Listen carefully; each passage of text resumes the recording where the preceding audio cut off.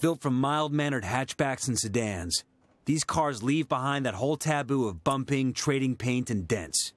They've been rebuilt to be aggressive on the track.